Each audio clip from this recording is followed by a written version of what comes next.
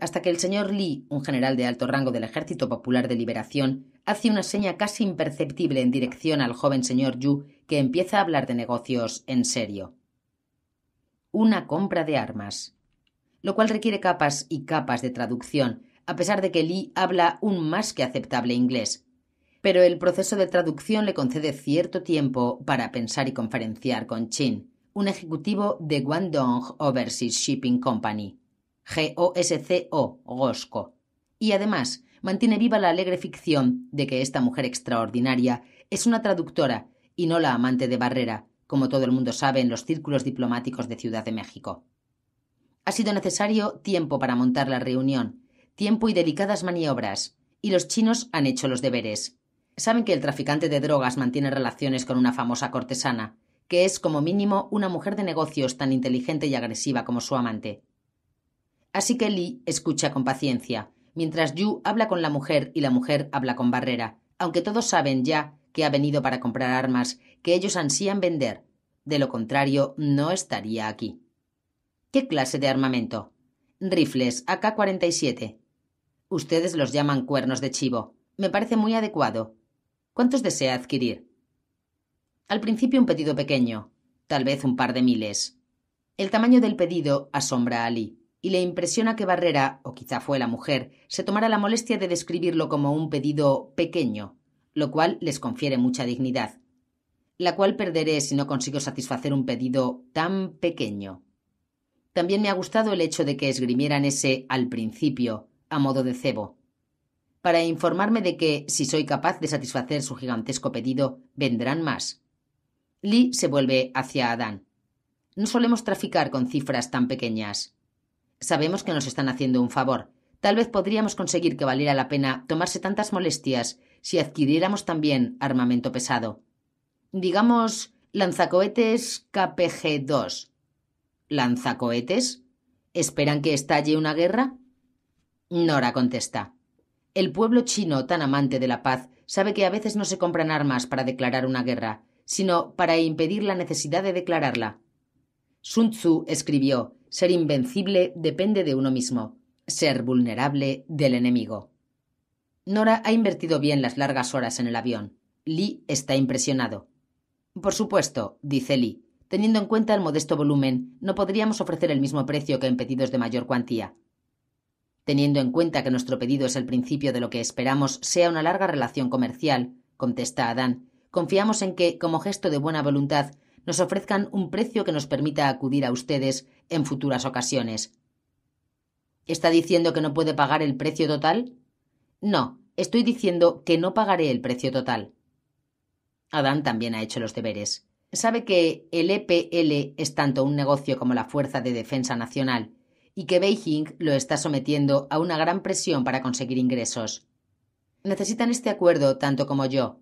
Piensa, tal vez más, y el tamaño del pedido no es para hacerle ascos en absoluto. Así que vas a aceptar mi precio, mi general, sobre todo si. Por supuesto, añade, pagaríamos en dólares norteamericanos, en metálico. Porque el EPL no solo está sometido a presión para obtener ingresos, sino también para conseguir divisas extranjeras y deprisa. Y no quieren pesos mexicanos inestables, sobre todo en papel. Quieren los billetes verdes norteamericanos. El ciclo satisface a Adán. Dólares norteamericanos para China, a cambio de armas. Rifles para Colombia, a cambio de cocaína. Cocaína para Estados Unidos, a cambio de dólares norteamericanos. A mí me va bien. A los chinos también. Dedican las tres horas siguientes a repasar los detalles, precios, fechas de entrega, el general arde en deseos de cerrar el trato, y el ejecutivo también, y Beijing. Gosco no solo está construyendo instalaciones en San Pedro y Long Beach, también las está construyendo en Panamá. Y comprando enormes extensiones de tierra a lo largo del canal, que no solo parte en dos a la flota norteamericana, sino que también se sienta horcajada sobre las dos insurgencias izquierdistas emergentes de Centroamérica, la guerra de las FARC en Colombia y la insurrección zapatista en el sur de México que los norteamericanos se ocupen por una vez de su propio hemisferio, que se preocupen más de los apuros de Panamá que de eso llamado Taiwán. No, este acuerdo con el cártel de los Barrera solo puede aumentar la influencia china en el patio trasero de los norteamericanos, mantenerlos ocupados apagando incendios comunistas y obligarles también a gastar recursos en su guerra contra las drogas. Aparece una botella de vino y brindan por la amistad. One Sway, dice Nora. Diez mil años. Dentro de seis semanas, un cargamento de 2.000 AK-47 y seis docenas de lanzagranadas con munición suficiente será enviado desde Guangzhou a bordo de un carguero de Gosco. San Diego. Una semana después de regresar de Hong Kong, Nora cruza la frontera en Tecate y después recorre el largo camino a través del desierto hasta llegar a San Diego. Se registra en el Hotel Valencia y pide una suite con vistas a la La Joya Cove y al mar. Halley se reúne con ella y cenan en Top of the Cove. El negocio va bien, le dice Halley. Nora se acuesta temprano y se levanta temprano. Se pone una sudadera y corre un rato alrededor de la Joya Cove por el sendero que bordea los acantilados. Regresa cansada y sudorosa. Pide su habitual pomelo y café al servicio de habitaciones y se ducha mientras espera a que le suban el desayuno. Después de viste y se va de compras a la Joya Village. Puede ir andando a todas las tiendas de moda y va cargada de bolsas antes de llegar a su tienda favorita, donde elige tres vestidos y se los lleva al probador. Unos minutos después sale con dos de los vestidos y los deja sobre el mostrador. Me llevo estos. He dejado el rojo en el probador. Ya lo cuelgo yo, dice la propietaria. Nora le da las gracias, sonríe y vuelve a salir al soleado atardecer de la joya. Decide que le apetece cocina francesa para comer y consigue una mesa en la brasserie sin problemas. Pasa el resto de la tarde viendo una película y echando una larga siesta. Se levanta, pide un consomé para cenar, se pone uno de sus vestidos negros y se recompone el pelo y el maquillaje. Art Keller aparca a tres manzanas de distancia de la Casa Blanca y recorre a pie el resto del camino. Se siente solo, tiene su trabajo y poca cosa más. Casi tiene ya dieciocho años, pronto se graduará en Parkman. Michael tiene dieciséis, cursa primer año en la Bishop's School. Art va a los partidos de voleibol de Cassie y a los certámenes de natación de Michael, y sale con los chicos después si no han quedado con sus amigos. Se encuentran una vez al mes en su apartamento del centro. Art lleva a cabo esfuerzos extravagantes por entretenerlos, pero casi siempre se quedan junto a la piscina del complejo con los demás padres de visita y sus hijos. A los suyos cada vez les molesta más estas visitas obligadas que interfieren en su vida social. Art lo comprende y por lo general permite que las cancelen con un la próxima vez falsamente alegre. No sale con mujeres.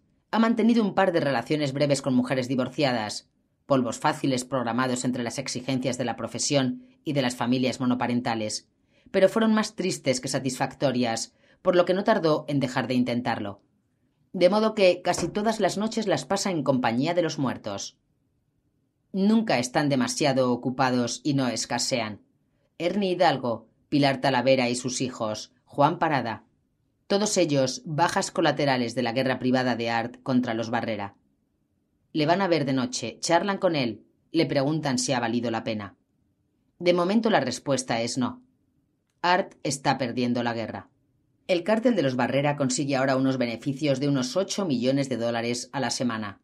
La mitad de la cocaína y un tercio de la heroína que llega a las calles de Estados Unidos proceden del cártel de Baja. Prácticamente toda la metanfetamina al oeste del Mississippi tiene su origen en los Barrera. Nadie osa retar en México el poder de Adán. Ha puesto en pie de nuevo la federación de su tío y es el patrón indiscutible. Ninguno de los restantes cárteles le disputa la influencia. Además, Barrera ha asegurado su propio suministro de cocaína en Colombia. Es independiente de Cali o Medellín. El negocio de los Barrera es autosuficiente desde la planta de coca hasta la esquina, desde la flor de la amapola a la galería de tiro, desde la sin semilla hasta el ladrillo que llega a las calles, desde la efedrina base hasta la piedra de meta de cristal. El cártel de Baja es un negocio de polidrogas verticalmente integrado. Eso sin contar los negocios legales. El dinero de los Barrera está invertido en las maquiladoras que hay junto a la frontera, en bienes raíces de todo México, sobre todo en las ciudades costeras de Puerto Vallarta y Cabo San Lucas, y del sudoeste de Estados Unidos, y en la banca, incluidos varios bancos y cooperativas de crédito de Estados Unidos. Los mecanismos financieros del cártel están íntimamente entrelazados con los negocios más saneados y poderosos de México. Art llega a la puerta de la Casa Blanca y toca el timbre. Halley Saxon sale al vestíbulo para recibirle. Sonríe como una profesional y le entrega la llave de una habitación de arriba. Nora está sentada en la cama. Espléndida, con su vestido negro. ¿Estás bien? pregunta Art. El vestido rojo era la señal de que debía verle en persona. Durante más de dos años le está dejando mensajes en lugares previamente convenidos de toda la ciudad. Fue Nora quien le facilitó los detalles de la reunión de los hermanos Orejuela con Adán, la información que permitió a la DEA detenerlos cuando volvían a Colombia. Nora fue quien le puso al día sobre la nueva organización de la Federación. Nora le ha facilitado cientos de informaciones a partir de las cuales ha conseguido deducir miles más. Gracias sobre todo a ella, posee una gráfica de la organización de los Barrera en Baja y en California. Rutas de entrega, pisos francos, correos. ¿Cuándo entraban las drogas? ¿Cuándo salía el dinero? ¿Quién mató a quién y por qué?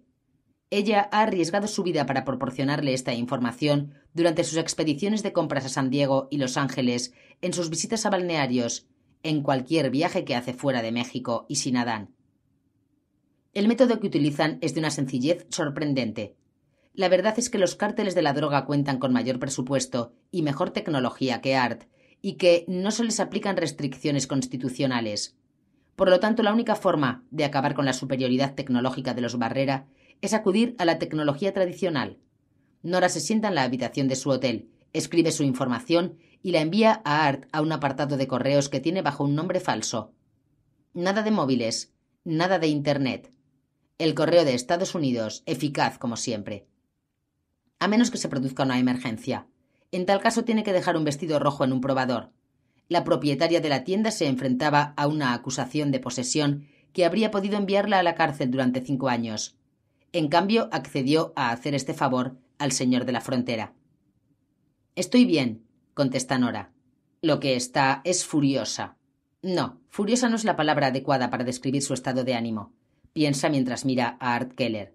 Dijiste que con mi ayuda detendrías a Adán enseguida, pero han pasado dos años y medio. Dos años y medio de fingir amar a Adán Barrera, de aceptar a un hombre al que odio en mi fuero interno, de sentirle en la boca, en el coño, en el culo, y fingir que me encanta, fingir que amo a este monstruo que asesinó al hombre al que amaba de verdad, para después guiarle, moldearle, ayudarle a conseguir el poder para cometer más iniquidades. No sabes lo que es.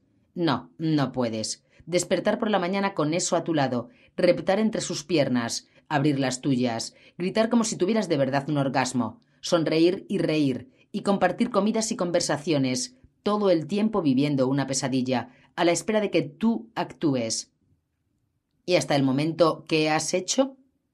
Aparte de detener a los orejuela, nada. Ha estado con esta información durante dos años y medio a la espera del momento adecuado para actuar. Esto es demasiado peligroso, dice Art. Confío en Halley, dice ella. Quiero que entres en acción, ya. Adán aún es intocable. No quiero que. Ella le explica el acuerdo de Adán con las FARC y los chinos. Art la mira con admiración. Sabía que era lista, no le ha perdido la pista en todo este tiempo, pero ignoraba que era tan perspicaz.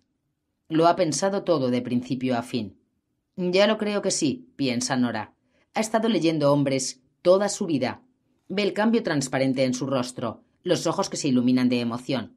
A cada hombre le excita algo. Ha visto todas las modalidades y ahora es el turno de Art Keller. Venganza. Igual que yo.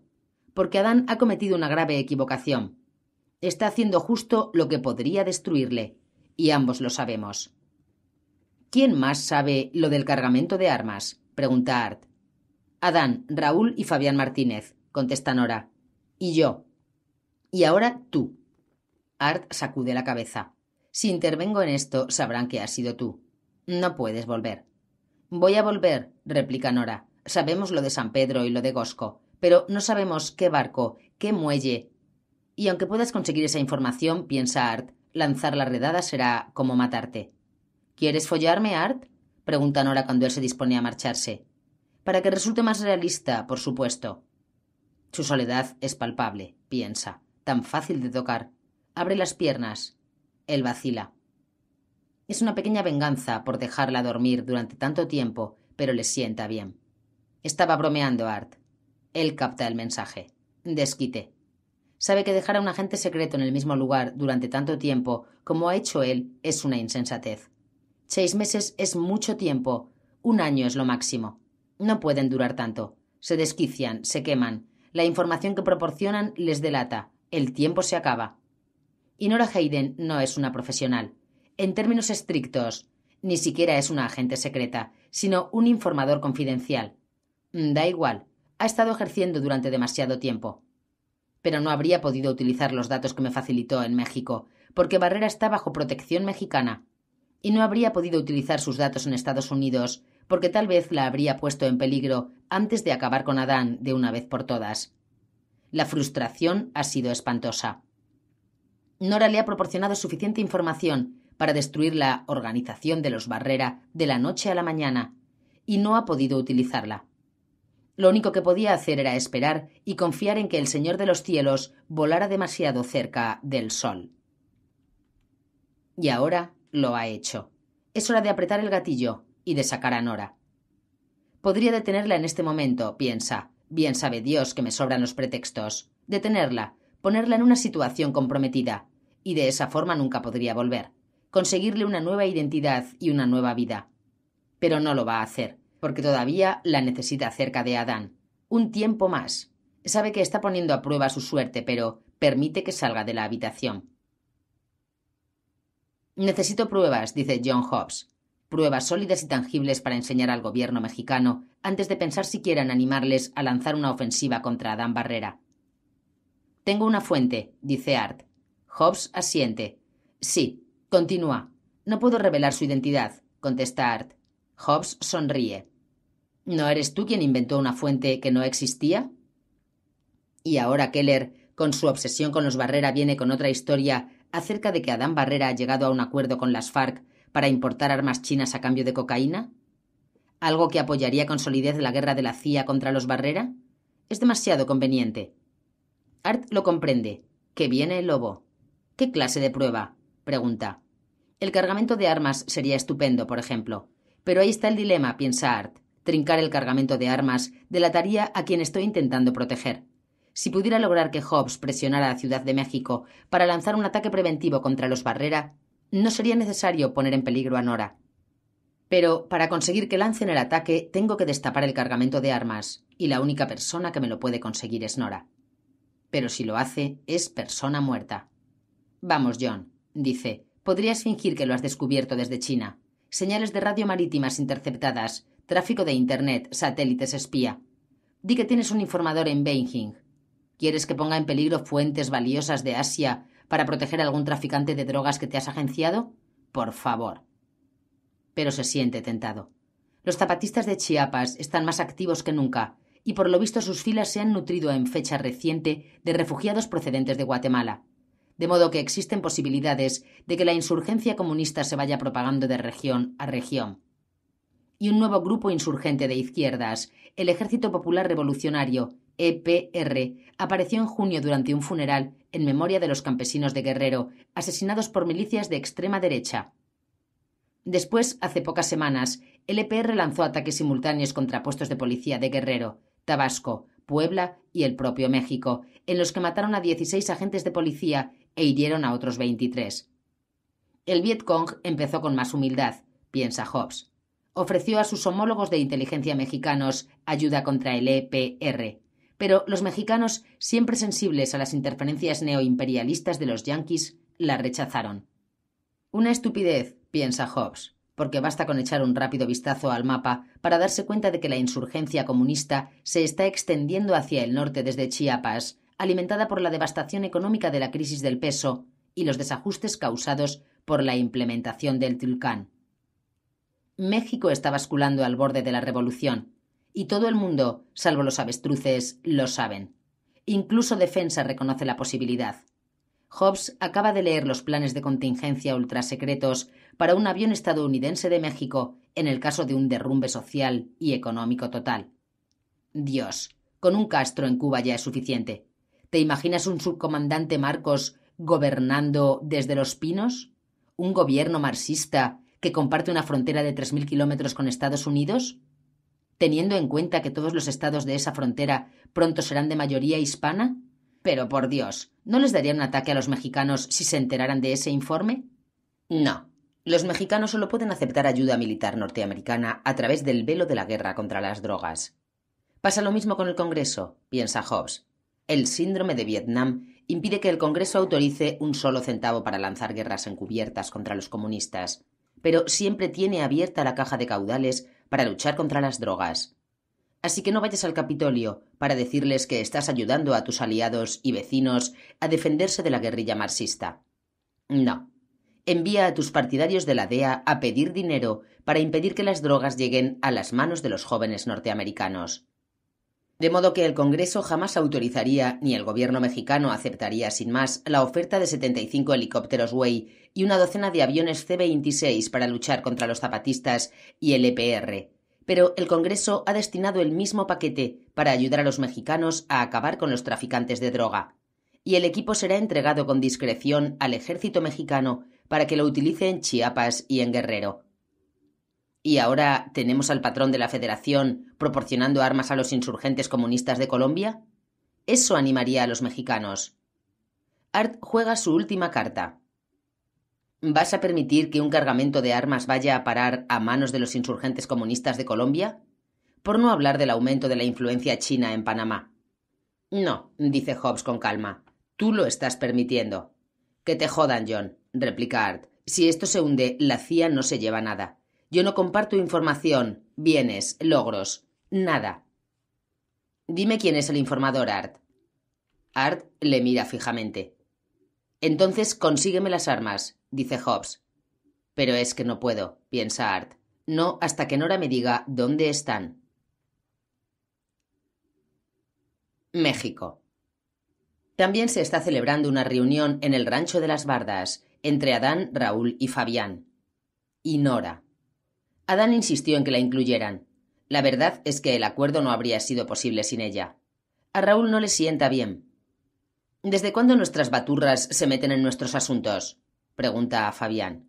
Debería quedarse en el dormitorio, que es su lugar. Que abra las piernas, pero la boca no. Fabián lanza una risita. A él sí que le gustaría abrir las piernas de la güera y también la boca. Es el chocho más exquisito que ha visto en su vida. Estás perdiendo el tiempo con un enclenque como Adán, piensa. Ven conmigo, tragona, te haré gritar. Nora ve la expresión de su cara y piensa. Inténtalo, capullo. Adán ordenaría despellejarte vivo y asarte a fuego lento. Yo llevaría los malvaviscos. Los chinos quieren cobrar al contado en metálico y no aceptarán otra forma de pago, ni una transferencia ni una serie de pagos blanqueados por mediación de empresas fantasma. Insisten en que tiene que ser absolutamente imposible seguir el rastro del pago, y la única forma es el pago al contado. Y quieren que sea Nora quien se encargue de ello. Para los chinos significa una garantía que Adán envíe a su adorada amante. De ninguna manera, dicen Adán y Raúl al mismo tiempo, aunque por motivos diferentes. Tú primero, dice Nora a Raúl. Tú y Adán no habéis hecho nada por ocultar vuestra relación, dice Raúl. La DEA debe de tener más fotos tuyas que mías. Si te arrestan, tienes mucha información dentro de esa bonita cabeza y motivos para revelarla. ¿Por qué habrían de detenerme? ¿Por acostarme con tu hermano? replica Nora. Se vuelve hacia Adán. Tu turno. Es demasiado peligroso, dice. Si algo fuera mal, te caería la perpetua. Entonces tenemos que asegurarnos de que nada salga mal, dice ella. Expone su caso. No paro de cruzar la frontera en uno u otro sentido. Soy ciudadana norteamericana, con dirección en San Diego. Soy una rubia atractiva capaz de atravesar cualquier puesto de control flirteando. Y lo más importante, es lo que desean los chinos. ¿Por qué? pregunta Raúl de repente. ¿Por qué quieres correr un riesgo así? Porque, dice ella sonriente, a cambio me haréis rica. Espera a que asimilen la respuesta. Quiero al mejor tuneador de baja, dice por fin Adán. Máxima seguridad a ambos lados de la frontera. Fabián, que nuestra mejor gente de California se encargue de recoger la mercancía. Quiero que vayas en persona, si algo le pasa a ella, los dos seréis responsables. Se levanta y sale. Nora sigue sentada y sonríe. Raúl sigue a Adán hasta el jardín. ¿En qué estás pensando, hermano? pregunta. ¿Qué le impediría denunciarnos? ¿Qué le impediría quedarse con el dinero sin pensarlo dos veces? Es una puta, por el amor de Dios. Adán gira en redondo y agarra a Raúl de la pechera de la camisa. Eres mi hermano y te quiero, Raúl. Pero si vuelves a hablar de ella así, dividiremos el pasador y cada uno seguirá su camino. Ahora haz el favor de encargarte de tu trabajo. Mientras Nora espera en la cola del paso fronterizo de San Isidro, el mejor tuneador de baja está sentado en una silla del décimo piso de un edificio de apartamentos que domina el punto de control. Está un poco nervioso porque le han pedido que garantice su trabajo. Si registran el coche, Raúl Barrera le meterá un balazo en la nuca. Para que te sientas más motivado, dice Raúl. No sabe a dónde va el coche, no sabe quién lo conduce, pero sí sabe que no es normal que el dinero suba hacia el norte, en lugar de bajar hacia el sur. Ha construido escondites en todo el Toyota Camry y va cargado de millones de dólares norteamericanos. Solo desea que a la patrulla de fronteras no se le ocurra pesar el coche. Lo mismo piensa Nora.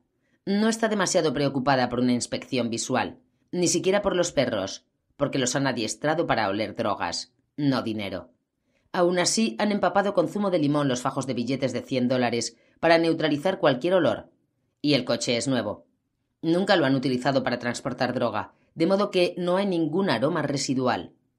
No obstante, han dejado restos de arena en el suelo del conductor y también en el asiento trasero, con algunas toallas húmedas, una sudadera con capucha y un par de chancletas viejas. La espera de hoy en la frontera es de una hora y media, lo cual es un coñazo.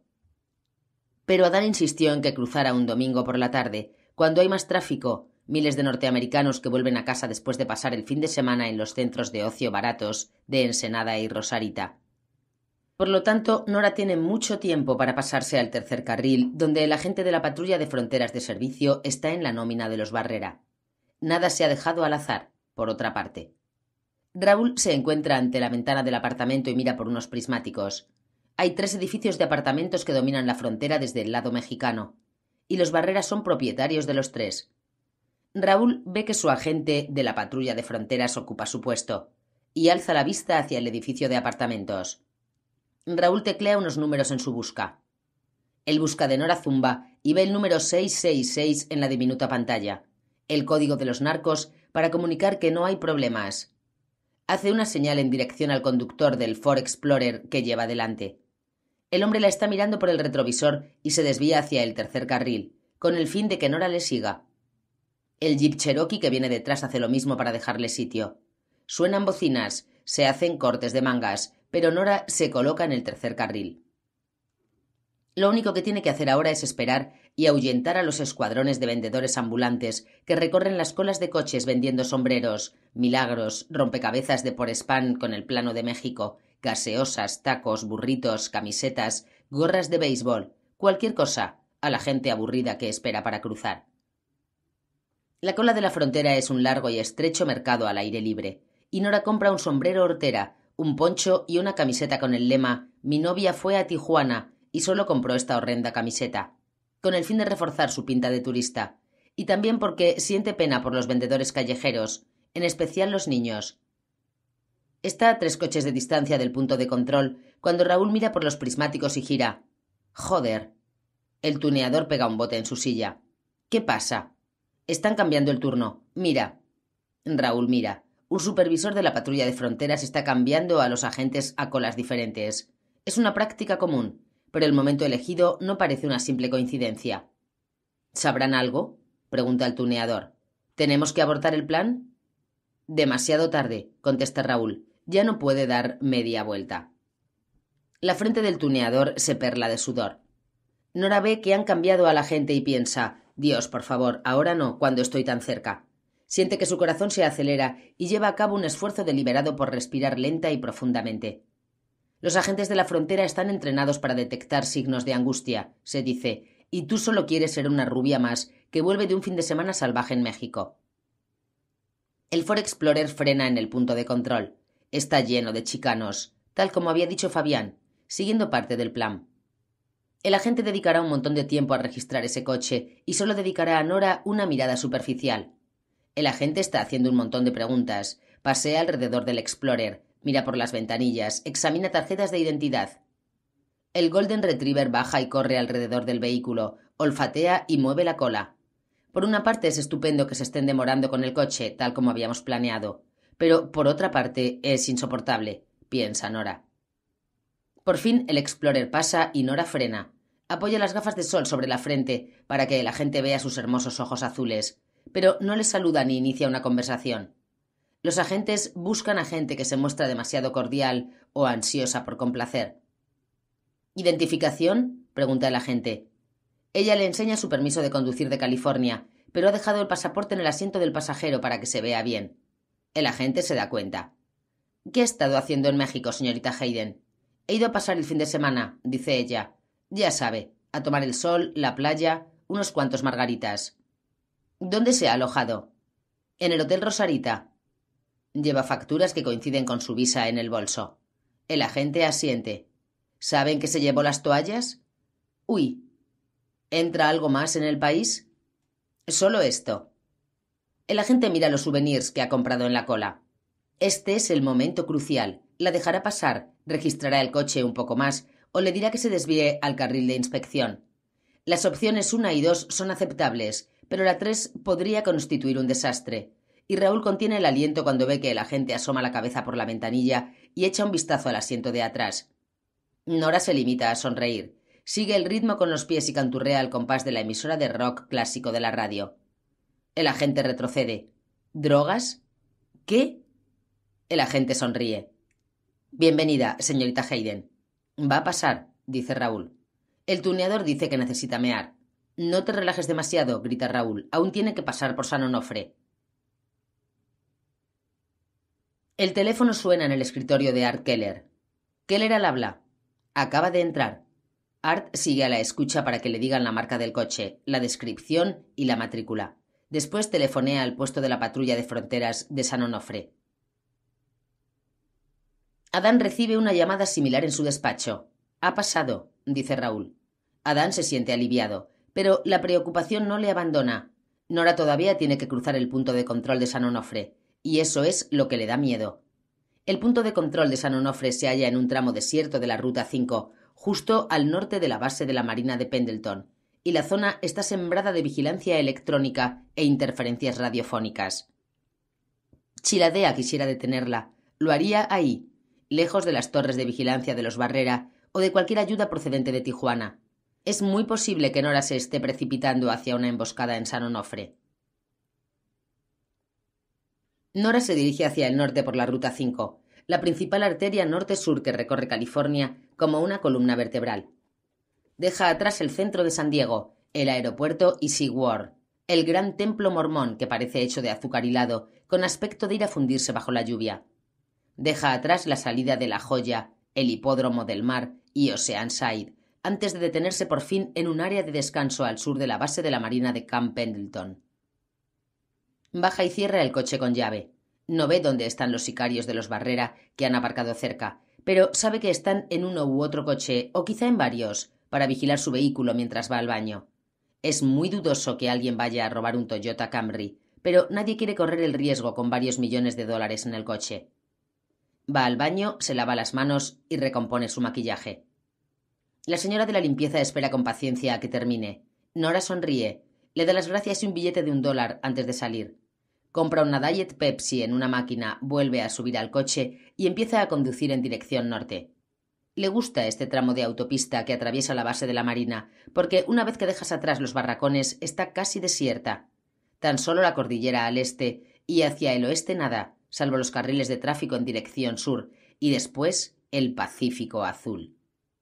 Ha cruzado el punto de control de San Onofre cientos de veces, como la mayoría de los ciudadanos del sur de California, si se desplazan desde San Diego al condado de Orange. Siempre ha sido una especie de chiste, piensa, mientras el tráfico de delante empieza a disminuir la velocidad, un punto de control fronterizo a cien kilómetros de la frontera. Pero la verdad es que muchos ilegales se dirigen hacia la zona metropolitana de Los Ángeles, y la mayoría utilizan la 5, de modo que quizás sea lógico. Lo que suele pasar es que llegas al punto de control, frenas y si eres blanco, el agente de la patrulla de fronteras te deja pasar con un ademán aburrido de la mano. Eso es lo que suele pasar, piensa, mientras se detiene a una docena de coches del punto de control, y eso es lo que espera.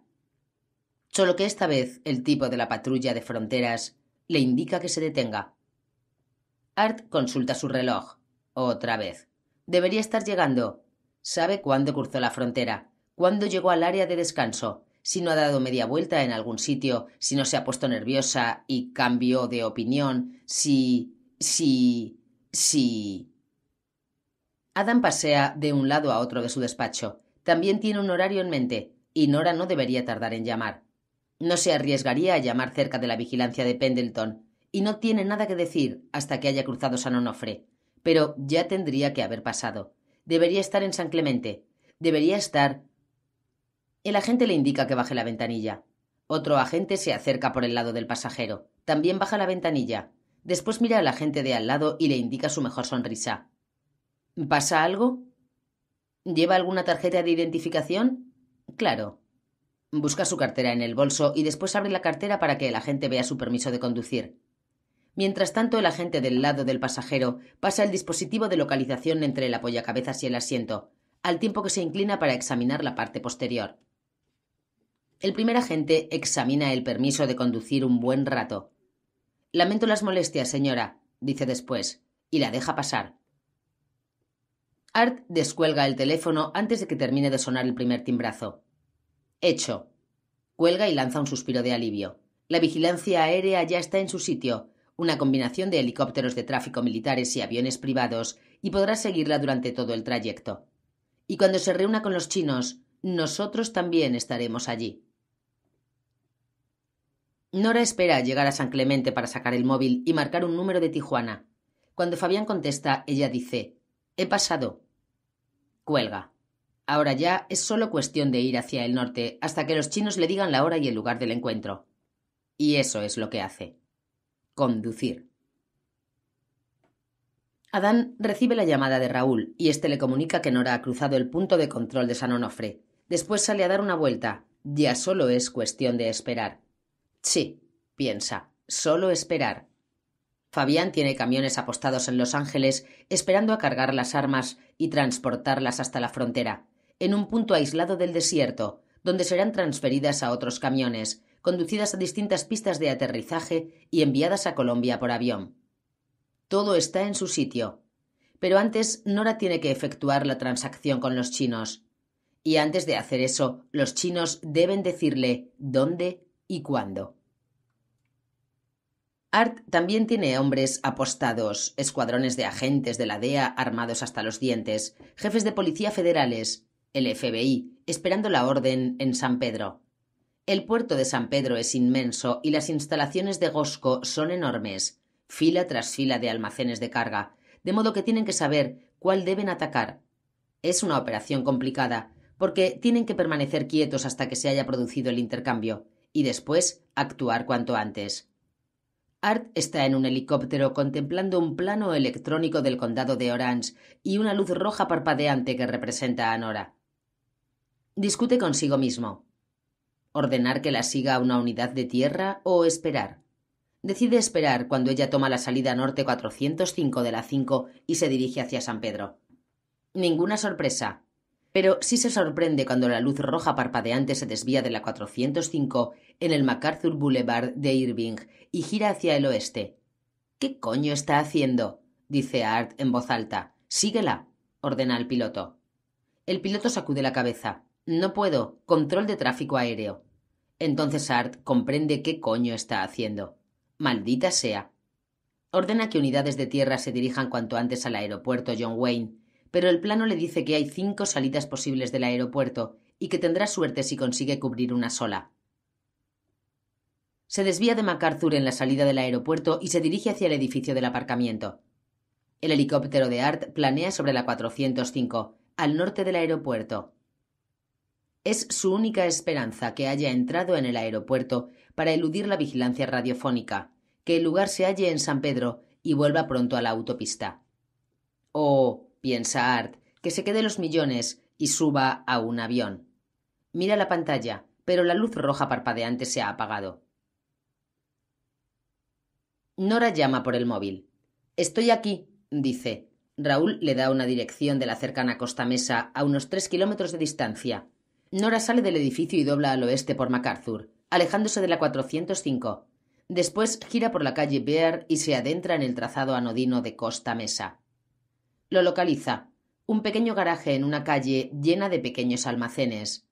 Un hombre con una ametralladora Mac 10 colgada al hombro abre la puerta y ella entra. La puerta se cierra tras de sí y es como en una carrera de Fórmula 1, a la que asistió una vez en compañía de un cliente. Un grupo de hombres saltan al instante sobre el coche, provistos de herramientas eléctricas, lo desmontan, meten el dinero en maletines Halliburton y después en el maletero de un Lexus negro. Este sería un buen momento para quedarse con el dinero, piensa Nora, pero ninguno de estos hombres se siente tentado. Todos son ilegales, con la familia en baja, y saben que los sicarios de los Barrera están aparcados delante de sus casas, con órdenes de matar a todos los que están dentro si el dinero y el correo no salen del garaje de prisa y a salvo. Nora les mira trabajar con la diligente y silenciosa eficacia de un equipo de boxes. El único sonido es el chirrido de los taladros eléctricos, y solo tardan trece minutos en desmontar el coche y volver a cargar el dinero en el Lexus. El hombre de la ametralladora le entrega un móvil nuevo. Llama a Raúl. Hecho. Dime un color. Azul. Cualquier otro color significaría que la están reteniendo contra su voluntad. Adelante. Sube al Lexus, la puerta del garaje se abre y ella sale. Vuelve a Biar y diez minutos después se encuentra de nuevo en la 405, en dirección a San Pedro. Conduce bajo un helicóptero de tráfico que da vueltas sobre la zona. Art contempla la pantalla vacía. Nora Hayden admite al fin. Se ha esfumado. Ella lo sabe, lo comprende, está viajando en dirección norte hacia Dios sabe dónde, y ahora está sola, lo cual no es nuevo para Nora. Salvo por los pocos años comparada, siempre ha estado sola. Pero no sabe cómo se supone que debe hacer esto, o qué va a suceder. Lo más fácil del mundo sería quedarse con el dinero y seguir adelante, pero así no conseguiría lo que quiere. Es de noche cuando cruza Carson, y sus torres perforadoras de gas natural brillan como torres de señales en una especie de versión industrial del infierno. Siguiendo el plan, se desvía por la salida del Ax y llama. Le dicen el lugar del encuentro. Una gasolinera de Aarco, en la salida 110, dirección oeste. Camino de San Pedro. Dime un color. Azul. Adelante. Por un segundo piensa en utilizar el móvil para llamar a aquel era el número secreto que le dio, pero el número aparecería en los registros telefónicos, y además el coche podría llevar micrófonos. De modo que conduce hasta la gasolinera y frena al lado del surtidor. Un coche hace destellar sus luces. Avanza hacia una fila de cabinas telefónicas. Dios, ¿es que alguien utiliza todavía cabinas? se pregunta. Y se queda sentada, mientras un asiático provisto de un pequeño maletín sale del otro coche y camina hacia el asiento del pasajero de su coche. Ella abre la puerta y el hombre sube. Es joven, unos veinticinco años, vestido con el traje negro, la camisa blanca y la corbata negra, que parece ser el uniforme de los jóvenes ejecutivos asiáticos actuales. Soy el señor Lee, dice. Sí, y yo la señora Smith. Lo siento, dice Lee, pero haga el favor de darse la vuelta y apoyar las manos sobre la puerta. Ella obedece y el hombre la cachea en busca de cables. Después abre el maletín, saca un pequeño barredor electrónico y busca micrófonos en el coche. Espero que me perdone, dice satisfecho. Ningún problema. Vámonos. ¿A dónde? Yo la iré dirigiendo. Se encaminan hacia el puerto.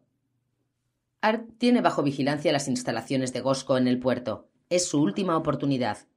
Un agente de la DEA está sentado en lo alto de una gigantesca caja con sus potentes prismáticos de visión nocturna apuntados a la entrada de Gosco, y ve el Lexus negro acercarse por la calle. Vehículo acercándose. ¿Puedes identificar al conductor? pregunta Art.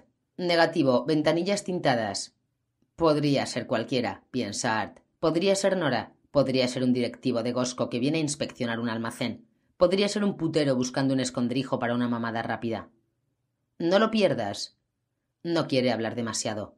Los narcos tendrán barredores de audio en marcha, y aunque sus transmisiones están codificadas, la triste realidad es que los narcos cuentan con mayor presupuesto y mejor tecnología.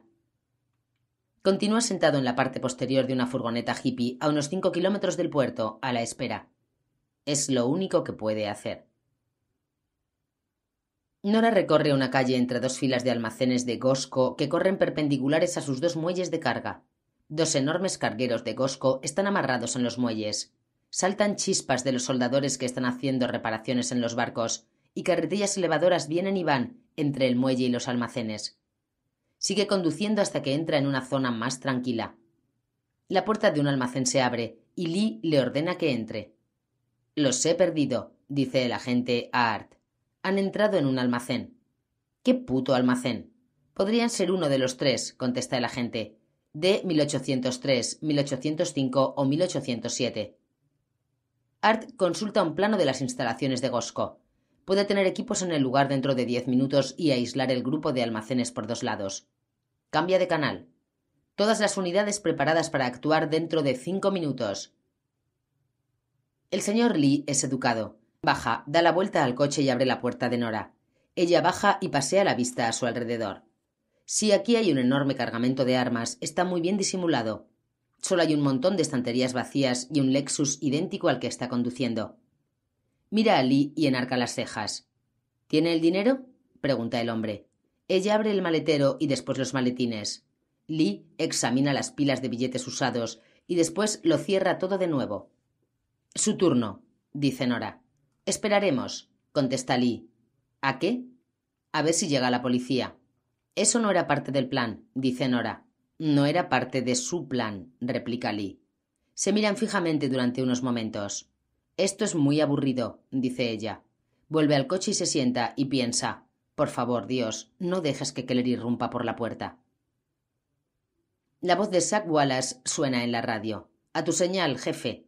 Art ciñe su chaleco antibalas Kevlar Quita el seguro de su M16. Respira hondo. Adelante, dice. Recibido. Esperad, grita en el micrófono. Le sale de dentro. Algo no va bien, algo no está claro. Han sido demasiado cautelosos, demasiado listos. O tal vez sea que me estoy acojonando en la vejez. Replegaos. Quince minutos. Veinte. Media hora. Nora saca el teléfono. ¿Qué está haciendo? pregunta Lee. Llamar a mi gente, dice Nora. Se estarán preguntando qué demonios me ha pasado. Lee le da su teléfono. Utilice este. ¿Por qué? Seguridad. Ella se encoge de hombros y coge el teléfono. ¿Dónde estamos? No les envíe aquí, dice Lee. ¿Por qué? El hombre sonríe satisfecho. Nora ha visto esa sonrisa un millar de veces, sobre todo después de sus espectaculares orgasmos fingidos. La mercancía no está aquí. ¿Dónde está? Ahora que ningún policía se ha presentado en el almacén, el hombre se siente lo bastante seguro para decirle la verdad. Además, tiene a la amante de Adán Barrera como garantía. Long Beach. Las nuevas instalaciones de Gosco en el puerto de Long Beach, le dice. Muelle 4, fila D, edificio 3323. Llama a Raúl y le da la información. Tenemos que llamar a nuestro jefe y recibir permiso para este cambio de planes, le dice después de colgar. Keller está sudando la gota gorda. Si ha sido Nora la que ha entrado en el almacén, lleva ahí dentro más de media hora y no ha pasado nada. Nadie ha entrado ni ha salido. Ningún camión ha llegado. Algo va mal. Todas las unidades preparadas, dice. Atacaremos a mi señal. Entonces suena su móvil. Lee escucha angustiado mientras Nora cuenta a Adán que la han llevado a un edificio desierto, le han apoyado una pistola en la cabeza a modo de prueba y que las armas están en realidad en Long Beach, Muelle 4, fila D, edificio 3323. Muelle 4, fila D, edificio 3323. Repite Arkeller. Exacto, dice Nora. Cuelga y devuelve el teléfono a Lee. Pongámonos en marcha, dice ella. El hombre niega con la cabeza. Nos quedamos aquí. No entiendo.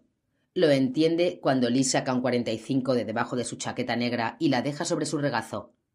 Cuando la transacción haya terminado, dice, yo me iré en un coche con el dinero, y usted subirá en otro y se marchará. Pero si algo desafortunado ocurre. Long Beach, piensa Art. Maldito sea Long Beach. Tenemos que llegar allí antes de que lo hagan los camiones de los Barrera y se pongan a cargar. Ordena por radio a su gente que se disperse. Tenemos que trasladar este puto ejército a Long Beach, y deprisa. Fabián Martínez está pensando más o menos lo mismo. Tiene en la carretera un convoy y tres camiones articulados pintados con compañía de productos Caléxico, preparados para ir a San Pedro, y ahora tienen que volver por la 405 hasta Long Beach. Menudo coñazo. Está sentado en el asiento del pasajero del primer camión con una Mac 10 bajo la chaqueta. Por si acaso. Dos de sus mejores hombres van en un coche de reconocimiento a un kilómetro de distancia. Entrarán primero, y si ven algo sospechoso, le enviarán un mensaje por busca y saldrán cagando leches. Hace frío para ser una noche del sur de California, incluso en marzo, así que se sube el cuello de la chaqueta y le dice al conductor que conecte la puta calefacción. Nora está sentada en el asiento delantero del Lexus mientras espera. ¿Le importa que encienda la radio? pregunta. A Lee no le importa. Mientras se dirige a Long Beach, Art corrige su plan. ¿Qué plan? piensa. Ese es el problema. Tenía un plan táctico para la redada de San Pedro, pero ahora será como una carga de la caballería a la desesperada. Y eso le pone muy nervioso. Lo mejor sería permitir que los camiones de los Barrera recogieran el cargamento, interceptarles en la carretera. Pero tiene que asegurarse de que Nora está bien. Así que la redada tiene que ser en el almacén, veloz y eficaz. Entrar a toda leche y sin contemplaciones.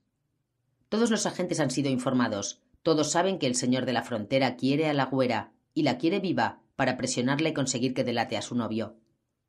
Saben eso, piensa Art, pero ¿lo recordarán en mitad de la redada, sobre todo si los hombres de los Barrera deciden responder al fuego? Existen montones de posibilidades de que la jodamos y de que Nora acabe muerta. Vuelve a ponerse en contacto por radio con Sack para asegurarse de que ha comprendido.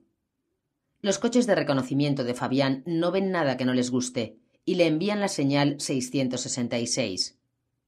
Es la una de la madrugada y el complejo de Long Beach está lleno de camiones que cargan y descargan. Lo cual es estupendo, piensa Fabián. Nadie se fijará en tres más. Localiza el muelle 4, después la fila D, después el edificio 3323, un enorme edificio prefabricado de acero ondulado como los demás. Salta del camión y llama a la puerta de la oficina. Da patadas en el suelo, mientras dos chinos inspeccionan sus camiones, las cabinas y los remolques. Después la gran puerta metálica del edificio se abre. Fabián vuelve a subir a la cabina del primer camión y les guía hacia el interior. Nora se sobresalta cuando suena el móvil de Lee. Ve que la mano de Lee se tensa sobre la culata de la pistola cuando contesta. Nora respira hondo y se prepara para agarrarle la muñeca, pero el hombre cuelga, se vuelve hacia ella y dice Su gente ha llegado, todo va bien. Estupendo, dice ella. Vámonos. El hombre niega con la cabeza. Todavía no. Fabián está hablando con el chino que está al mando. ¿Tienes el dinero? Sí. ¿Dónde está? En otro sitio, dice el hombre. En cuanto concluyamos la transacción se reunirá con vosotros. A Fabián no le hace gracia. No porque le importe una mierda Nora Hayden, aparte de desear follársela hasta cansarse, le daría igual que acabara muerta, sino porque a Adán sí le importa, y él es responsable de la seguridad de Nora. ¿Y esos monos amarillos la retienen como rehén? Muy mal. Quiero hablar con ella, dice. Lee entrega el teléfono a Nora. ¿Quieren hablar con usted? Nora coge el teléfono. Dime un color, dice Fabián. Rojo. Fabián devuelve el teléfono al chino, saca la Mac 10 de debajo de la chaqueta y la esgrime en su cara. Vuelve a llamar a tu chico, dice. Dile que todo va de coña. Aparecen armas por todas partes. Todos los hombres de Fabián y también todos los chinos salvo que la mayoría de los chinos están en pasarelas elevadas, apuntando hacia abajo, de modo que cuentan con ventaja táctica. Son las típicas tablas, que se esfuman cuando la puerta de la oficina sale volando por los aires. Se desata el caos. Art es el primero en cruzar la puerta, seguido de una falange de agentes. Activa el interruptor y la puerta metálica de carga se abre de nuevo y deja al descubierto otro pelotón de la DEA, el FBI y el ATF toda una sopa de letras letal, provista de rifles automáticos, escopetas, chalecos Kevlar y viseras antibalas, con lamparillas que brillan sobre sus cascos. Los agentes gritan a pleno pulmón. ¡Quietos! DEA. Al suelo, al suelo. FBI. Tirad las armas. Las armas caen haciendo ruido metálico sobre las pasarelas y el suelo de cemento. Fabián sopesa la posibilidad de empezar a disparar, pero enseguida se da cuenta de que es inútil.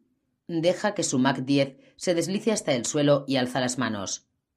Art busca a Nora con la vista. Es difícil ver algo en mitad del caos, con hombres corriendo, otros cayendo al suelo, agentes agarrando a gente y tirándola al suelo. Busca su pelo rubio y no lo ve, de manera que grita por el micro de su radio Adelante, con la esperanza de que Sack le oiga por encima del barullo, mientras reza para que no sea demasiado tarde. A su lado, un chino está gritando por su móvil. Art le agarra por el cuello de la camisa y le arroja al suelo y le quita el teléfono de una patada. Lee oye a su jefe gritar por el teléfono. Nora ve que sus ojos se abren de par en par y después la pistola se alza y la apunta a la frente. Grita. Por encima del ruido sordo de una explosión. Sangre y huesos salpican la ventanilla del pasajero. El cuerpo de Lee se derrumba en el asiento. Nora se vuelve y ve al tirador del SWAT en la puerta que cuelga de sus goznes. Aún sigue chillando cuando Zack Wallace se acerca poco a poco al coche, abre la puerta y la toma con delicadeza del codo. No pasa nada, dice. Se encuentra bien. Vamos, tenemos que salir de aquí. La saca del coche, la guía hasta el exterior y la acomoda en el asiento delantero de su coche. Espere aquí un momento. Zack vuelve al interior del almacén, se sienta en el asiento delantero del Lexus y coge la 45 de la mano muerta de Lee. Después la sostiene a escasos centímetros de la frente de Lee, apunta a las heridas de entrada y aprieta el gatillo. Limpia el arma y vuelve a su coche. Se sienta al lado de Nora y le dice que sujete un momento la 45. Aturdida, ella obedece. Después Zack recupera el arma. Esta es la historia. Las cosas se pusieron feas. El chino iba a dispararle. Usted agarró la pistola, luchó, ganó. ¿Lo ha comprendido? Ella asiente. Cree haberlo entendido. No está segura. Sus manos no dejan de temblar. ¿Se encuentra bien? pregunta Zack. Escuche, si no es así, no pasa nada. Si quiere parar esto ahora mismo, dígalo, lo comprenderemos. ¿Han detenido a Adán? pregunta. Todavía no, contesta Zack. Nora sacude la cabeza. Art se arrodilla sobre el cuello de Fabián y le ata las muñecas con el cable de teléfono. Ha sido esa puta, ¿verdad? pregunta Fabián. Art ejerce más presión con las rodillas y empieza a recitar los derechos de Fabián. Quiero un abogado ahora mismo, dice Fabián. Art le pone en pie, le empuja contra una de las furgonetas de la DEA y se aleja para inspeccionar los dos contenedores, seis metros de largo, dos metros y medio de ancho y dos metros y medio de altura, llenos de cajas. Sus hombres las sacan y las revientan. Dos mil AK-47 de fabricación china salen de las cajas en piezas, cañones, recámaras, culatas. Otras herramientas incluyen dos docenas de lanzacohetes KPG-2, chinos, considerados muy valiosos porque son manuales, Dos mil rifles igual a dos mil kilos de cocaína, piensa Art. Solo Dios sabe cuántos kilos dejan pasar por los lanzacohetes, capaces de derribar helicópteros. A continuación encuentran seis cargamentos de rifles M2, M1, reconvertidos, la típica carabina del ejército. La diferencia entre el original y el M2 es que el último puede pasar a ser automático con un único cambio. También encuentra algunos Laus, la versión norteamericana del KPG-2 no tan eficaz contra helicópteros, pero muy bueno contra vehículos blindados. Todas ellas armas perfectas para una guerra de guerrillas. Por valor de miles de kilos de coca. El alijo más grande de la historia. Pero aún no ha terminado. Todo esto no sirve de nada si no conduce a la desaparición de Adán Barrera, cueste lo que cueste. Si Adán escapa, la única posibilidad de encontrarle será por mediación de Nora. Tienes un plan para sacarla, pero los planes a veces salen mal. Ella quería volver, se dice. Tú le concediste la posibilidad de abandonar y ella tomó una decisión. Es adulta, capaz de tomar decisiones. Sí, sigue repitiéndote eso. Nora circula con el Lexus nuevo por la autopista hasta la primera salida. Entra en una gasolinera, va al lavabo de señoras y vomita. Después de vaciar el estómago vuelve al coche y conduce hasta la estación de tren de Santa Ana deja el coche en un aparcamiento, entra en una cabina telefónica, cierra la puerta y llama a Adán. Llorar no representa ningún problema. Las lágrimas ruedan con facilidad entre sus sollozos entrecortados. Algo salió mal.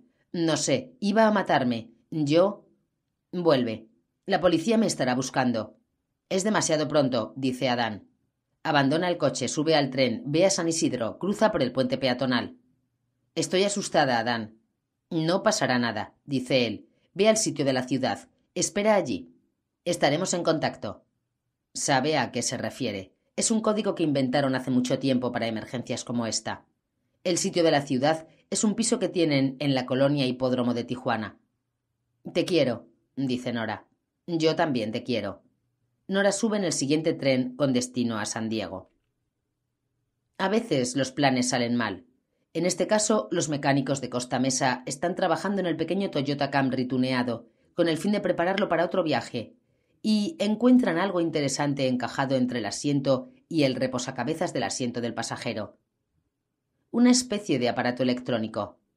El jefe de los operarios hace una llamada. Nora baja del tren en San Diego, sube al tranvía que baja a San Isidro, desciende, sube los peldaños del puente peatonal y cruza la frontera a pie.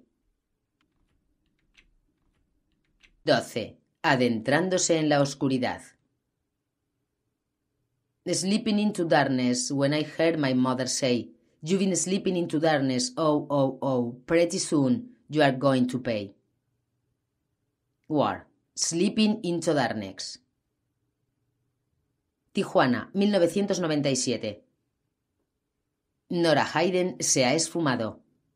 Así de sencillo, la brutal verdad que Art intenta afrontar. Ernie Hidalgo otra vez. Fuente mamada revisitado. Hay momentos aterradores en la vida de cualquier persona que trabaja con agentes secretos. El control saltado, la no señal, el silencio. Es el silencio lo que te revolverá el estómago, lo que te empujará a rechinar los dientes, a tensar las mandíbulas, el silencio lo que extinguirá poco a poco la llama de la falsa esperanza. El silencio absoluto de cuando lanzas una señal de radar tras otra a la oscuridad, a las profundidades, y luego esperas a que regrese. Y esperas y esperas, y solo obtienes silencio. Tenía que haber ido al apartamento de Colonia Hipódromo para encontrarse con Adán. Pero nunca apareció, ni tampoco el Señor de los cielos.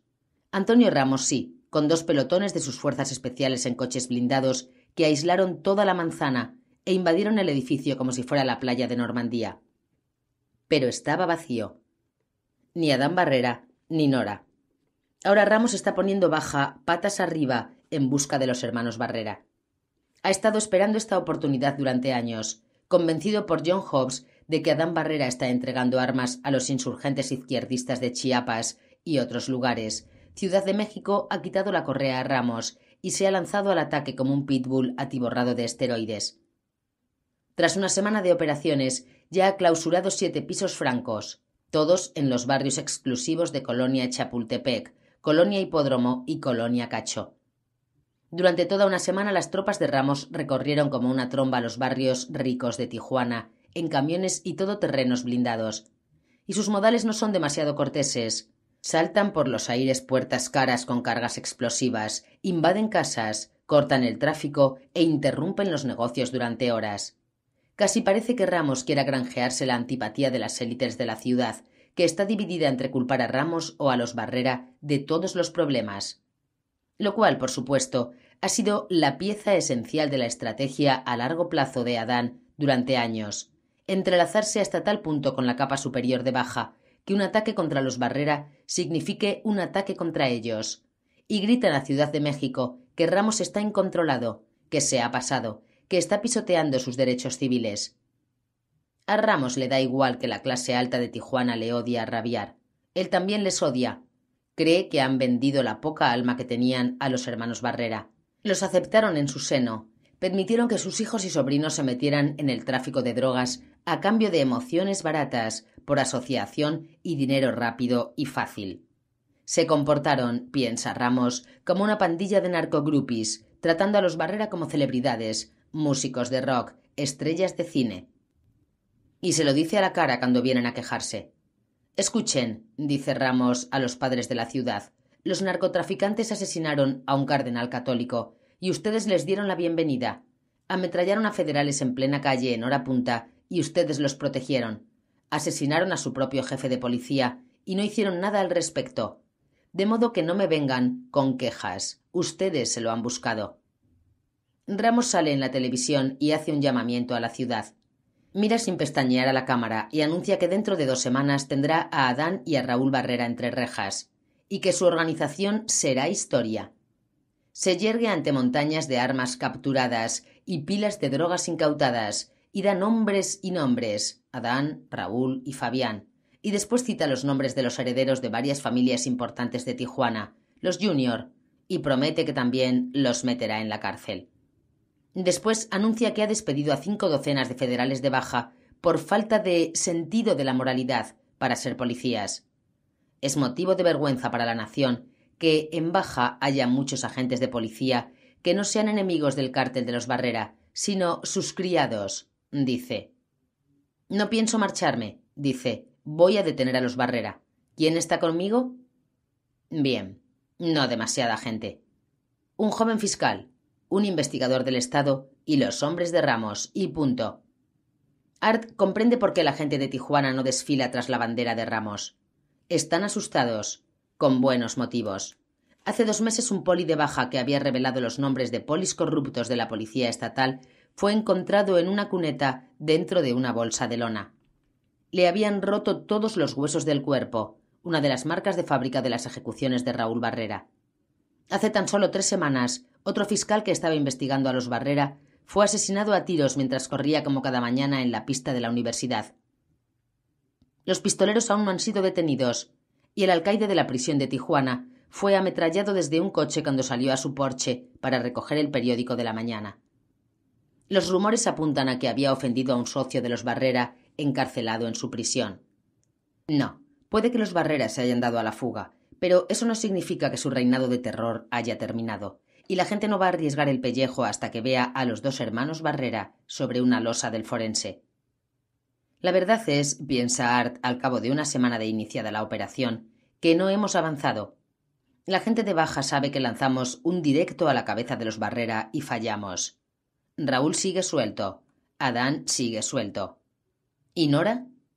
Bien, el hecho de que Adán no cayera en la trampa de Colonia Hipódromo puede significar que su tapadera saltó por los aires. Art todavía se aferra a la esperanza, pero a medida que transcurren los días en silencio, tiene que reconocer la posibilidad de que tendrá que buscar su cadáver descompuesto. Así que Art no está de buen humor cuando entra en la sala de interrogatorios de la cárcel del centro de San Diego para charlar con Fabián Martínez, alias el tiburón. El pequeño gamberro no parece tan elegante con su chándal naranja federal, esposado de pies y manos, pero conserva su sonrisa desdeñosa cuando entra y se deja caer en una silla plegable enfrente de Art, al otro lado de la mesa metálica. Fuiste a un colegio católico, ¿verdad? empieza Art. Los agustinos, contesta Fabián, aquí, en San Pedro. Así que conoces la diferencia entre el purgatorio y el infierno, dice Art. Refréscame la memoria. Claro, dice Art. En síntesis, los dos son dolorosos. Pero tu tiempo en el purgatorio expira algún día, mientras que el infierno es eterno.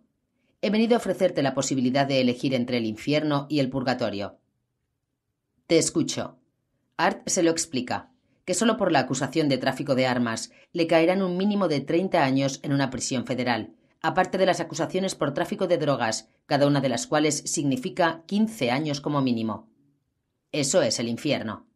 Por otra parte, si Fabián se convierte en testigo del gobierno, pasará unos cuantos años testificando dolorosamente contra sus antiguos amigos, seguido por un corto periodo en prisión, y después un nuevo hombre y una nueva vida. Y eso es el purgatorio. En primer lugar, contesta Fabián, yo no sabía nada de esas armas. Fui a recoger productos. En segundo, ¿de qué tráfico de drogas estás hablando? ¿De dónde han salido esas drogas? Tengo un testigo que te coloca en el centro de una red de narcotráfico importante, Fabián. De hecho, te quiero meter en Chirona por tu condición de líder, a menos que hayas pensado en otra cosa. Te estás echando un farol. Mira, si quieres que te caigan treinta años por ver esa carta, adelante. Pero resulta que estás en una guerra de pujas con mi otro testigo, y quien me proporcione mejor información sobre los Barrera gana. Quiero un abogado. Bien, piensa Art, y yo quiero que lo tengas. No, Fabián, dice en cambio, un abogado solo te dirá que cierres la boca y te pudras en la cárcel el resto de tu vida. Quiero un abogado. Así que no hay trato. No hay trato. Tengo que leerte tus derechos, dice Art. Ya me los leíste, dice Fabián, y se reclina en la silla. Está aburrido, quiere volver a su celda para leer revistas. Ah, eso fue por la acusación de tráfico de armas, dice Art. Tengo que hacerlo otra vez por lo del asesinato. Fabián se incorpora. ¿Qué asesinato? Te detengo por el asesinato de Juan Parada, dice Art. Es una acusación pendiente desde el 94. Tienes derecho a permanecer en silencio. Cualquier cosa que digas. No tienes jurisdicción, dice Fabián. Ese asesinato se cometió en México. Art se inclina hacia adelante. Los padres de Parada eran espaldas mojadas. Nació en las afueras de Laredo, Texas, de modo que es ciudadano norteamericano, igual que tú, y eso me da jurisdicción. Oye, tal vez te juzgarán en Texas. El gobernador es un entusiasta de las inyecciones letales. Nos veremos en el juicio, capullo. Y ahora ve a hablar con tu abogado, y húndete en la mierda. Si Adán hubiera acudido en coche a su cita con Nora en Colonia Hipódromo, es probable que la policía le hubiera trincado. Pero fue a pie. La poli no esperaba que Adán Barrera llegara a pie, de manera que cuando vio los vehículos de la policía entrar en el barrio, dio media vuelta y se largó. Caminó por la acera al lado de los controles dispuestos en las calles. No ha sido fácil desde entonces. Ha sido expulsado de dos pisos francos más. Ha recibido avisos de Raúl justo a tiempo, y ahora está en un piso franco del distrito de Río, mientras se pregunta cuándo irrumpirá la policía. Y lo peor son las comunicaciones, o la falta de ellas. Casi todos sus teléfonos móviles no están codificados, de modo que le da miedo utilizarlos. Y los que sí lo están podrían estar interceptados, de manera que, aunque la policía fuera incapaz de descifrar lo que dijera, podrían localizarle mediante la señal. Por lo tanto, no sabe a quién han detenido, qué pisos han caído, qué han encontrado en ellos. No sabe quién dirige las redadas, cuánto tiempo van a durar, dónde van a atacar, ni siquiera si saben dónde está. Lo que más preocupa a Dan es que las redadas llegaron sin previo aviso. Ni una palabra, ni un susurro de sus amigos bien pagados de Ciudad de México. Y eso le asusta, porque si los políticos del PRI se han vuelto contra él, deben de estar muy asustados. Y deben de saber que si atacan al capo de los Barrera no pueden fallar, lo cual les convierte en peligrosos. Tienen que derrotarme, pensó. Tienen que matarme. Por lo tanto, está tomando medidas protectoras. En primer lugar, distribuye casi todos sus teléfonos móviles entre sus hombres, que se dispersan por toda la ciudad y el Estado con instrucciones de hacer llamadas y luego tirar los teléfonos. Ramos empieza a recibir informes de que Adán Barrera está en Hipódromo, en Chapultepec, Rosarito, Ensenada, Tecate, incluso al otro lado de la frontera en San Diego, Chula Vista, Otay y Mesa. Raúl va a Radio Shack, compra más teléfonos y empieza a trabajar con ellos. Se pone en contacto con polis que tiene en nómina, federales de baja, policía estatal de baja, polis municipales de Tijuana. Las noticias no son buenas. Los polis estatales y locales que contestan a sus llamadas no saben una mierda. Nadie les ha dicho nada. Pero sí saben que se trata de una operación federal, que no tiene nada que ver con ellos. ¿Y los federales locales? Al margen, dice Raúl a Adán. Han vuelto a trasladarse. Se largaron del piso franco de Río diez minutos antes de que la policía llegara. Están en un apartamento de Colonia Cacho, con la esperanza de ocultarse al menos unas horas hasta averiguar qué coño está pasando. Pero la policía local no les puede ayudar. No contestan al teléfono, dice Raúl. Llámales a casa, replica Adán. Tampoco contestan allí. Adán coge un móvil y hace una llamada de larga distancia, a Ciudad de México. No hay nadie en casa. Ninguno de sus contactos en el PRI está disponible para recibir una llamada. Pero si es tan amable de dejar su número, le llamarán en cuanto. Es el acuerdo de las armas, piensa Adán. El cabrón de Art Keller ha relacionado las armas con las FARC y lo ha utilizado para que Ciudad de México reaccionara. Siente ganas de vomitar. Solo había cuatro personas en México que sabían lo del acuerdo con tiro fijo. Raúl, Fabián, yo y Nora. Nora ha desaparecido. No apareció en Colonia Hipódromo. Pero la policía sí. Llegó antes que yo, piensa.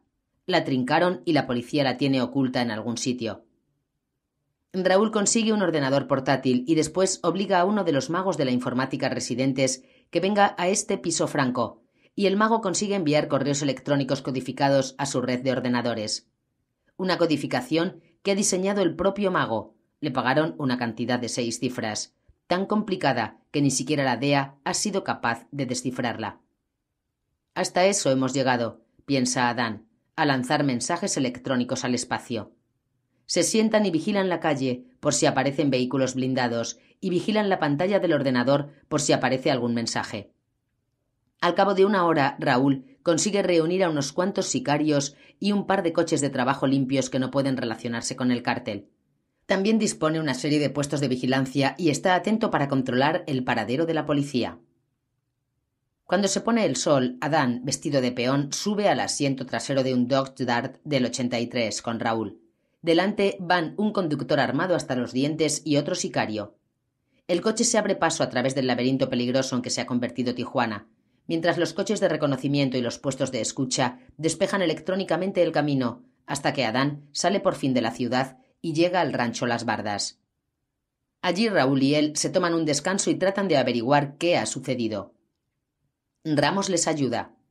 Los Barrera ponen el telediario de la noche y allí está, en una conferencia de prensa, anunciando que va a destruir el cártel de Baja antes de dos semanas. Eso explica por qué no recibimos ningún aviso, dice Adán. Eso explica una parte, rectifica Raúl. Ramos tiene un plano virtual de todo el cártel el emplazamiento de pisos francos, nombres de socios. ¿De dónde ha sacado esa información?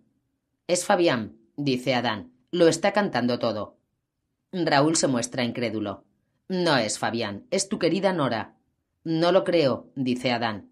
No quieres creerlo, replica Raúl. Cuenta a Adán que encontraron un dispositivo de localización en el coche. También pudo ser Fabián, dice Adán. La policía había montado una emboscada en tu nidito de amor, grita Raúl. ¿Lo sabía Fabián? ¿Quién sabía lo del acuerdo de las armas? Tú, Fabián, Nora y yo. Bien, no fui yo. No creo que fueras tú. Fabián está en una cárcel norteamericana, así que. Ni siquiera sabemos dónde está ella, dice Adán. Entonces un horrible pensamiento acude a su mente. Mira a Raúl, que ha apartado la persiana para mirar por la ventana. ¿Le has hecho algo, Raúl? Raúl no contesta. Adán salta de la silla. ¿Le has hecho algo, Raúl?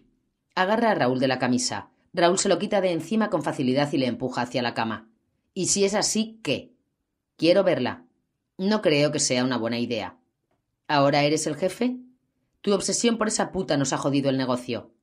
Lo cual significa sí, hermano, hasta que recuperes el sentido común, yo soy el jefe. Quiero verla. No voy a permitir que te conviertas en otro tío.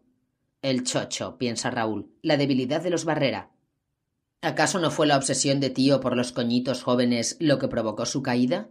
Primero con Pilar y después con la otra puta, cuyo nombre ni siquiera puedo recordar. Miguel Ángel Barrera, M1, el hombre que construyó la Federación, el hombre más listo, más despiadado, más sensato que he conocido en mi vida. Pero su cerebro se obnubiló por culpa de un culo y acabó con él. Y Adán ha heredado la misma enfermedad. Joder, Adán podría tener todos los coños que quisiera, pero tiene que ser ese en concreto. Podría haber encadenado amante tras amante si hubiera sido discreto, sin avergonzar a su mujer. Pero Adán no. No. Se enamora de esa puta y se exhibe en público con ella. Lo cual proporciona a Art Keller el blanco perfecto. Y ahora, míranos. Adán clava la vista en el suelo. ¿Está viva? Raúl no contesta. Dime que está viva, Raúl. Un guardia irrumpe en la sala. Váyanse, grita, váyanse. Los animales del zoo chillan cuando Ramos y sus hombres saltan el muro. Ramos apoya en el hombro el lanzagranadas, apunta y dispara. Una de las torres de vigilancia estalla en un destello de luz amarilla. Recarga, vuelve a apuntar, otro destello. Baja la vista y ve que dos ciervos se están lanzando contra la valla con intención de escapar. Salta dentro del corral y abre la puerta. Los dos animales se pierden en la noche. Los pájaros chillan y graznan, los monos parlotean enloquecidos, y Ramos recuerda haber oído rumores de que Raúl tenía un par de leones por aquí.